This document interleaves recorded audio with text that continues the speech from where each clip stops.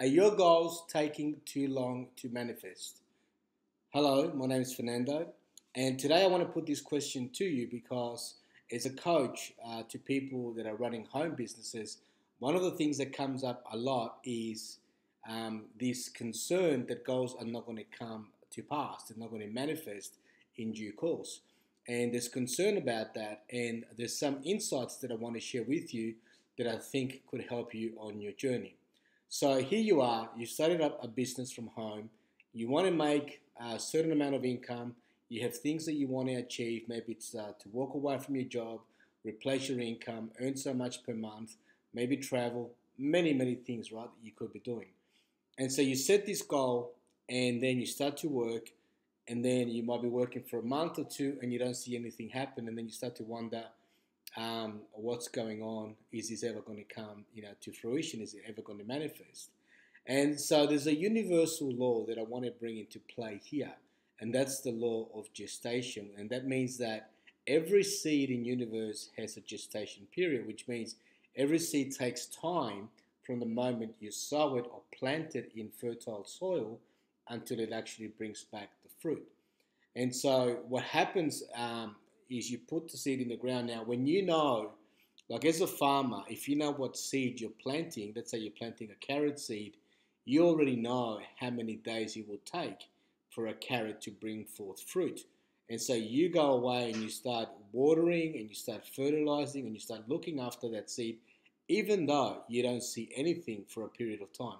All you see is dirt, right? The seed's under the ground and it's already beginning to attract everything that it needs immediately that is in harmony uh, with it to uh, to eventually produce that sprout that's going to then take the sun and grow into a carrot.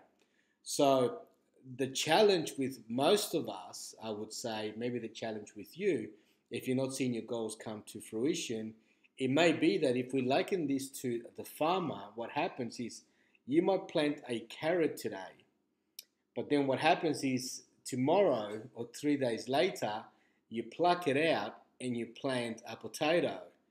And then five days later, you pull that out and then you're planting an apple seed. And we're forever planting. Now, in, in the industry of online marketing, network marketing, digital marketing, we call it shiny object syndrome. We start something, so we set a goal and we start to build a certain way, but then we get distracted and we start to go after something else. And it's like we've left that seed in the ground, we've plucked it out, and now we're planting another one that we want to start building because it looks more attractive. You might think that it may give you results sooner, and then after time, you pluck it out again.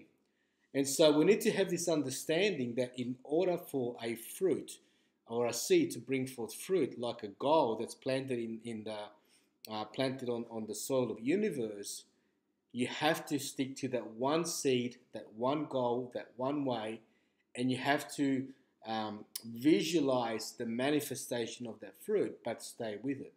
Because as you do that, then all the energy, all the vibration, all the resources, all the circumstances that you need will start to uh, be attracted to it to manifest that as the goal in reality in due course. Now, going back to this example, you may not see something for a while, and I guess that's where the impatience comes. It's like I'm doing all this work, but I'm not seeing anything happen. And so that means that you don't yet have the awareness that goals take time, just like a seed. It has, to, has a gestation period before it brings forth fruit. And the best example I can use is the Chinese bamboo. And I love that story because it really takes understanding and awareness of that particular seed to know that you plant it and you water it for five years before you see anything. But when it comes out, when it pops through the ground, in six weeks it grows to 90 feet or 27 stories. And it's a very strong structure. Nothing would uh, knock it over because for five years it's been developing a very complex root system.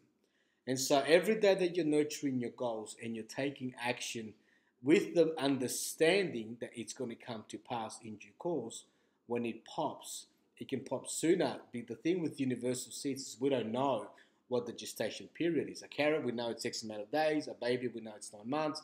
But your goal, we don't know how long it takes. It could be longer than you think, but not as long as uh, it could be take longer than you expect, but not as long as you think, right? So you could, you just have to take the action. Once it pops, then it starts to manifest and you start to enjoy the fruits of that seed that's been planted in the ground.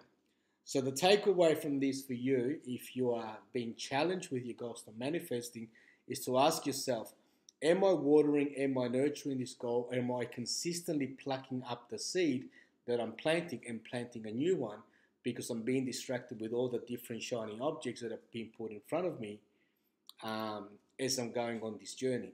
And then also have an understanding that every seed takes a period of time. I hope that makes a difference for you. I would love your comments. Let me know what you think.